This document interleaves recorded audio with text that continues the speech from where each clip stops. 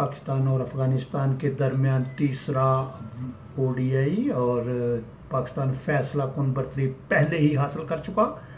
लेकिन ये एक रूटीन वर्क था कि चलो मैच तो होना चाहिए।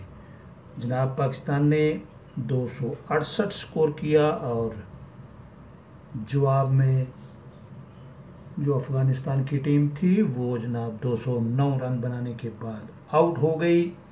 और यूँ पाकिस्तान ने क्लीन स्वीप करके क्रिकेट की दुनिया में लोहा मनवाया और अपने आप को मनवाया कि ये वाकई ही शाहीन हैं।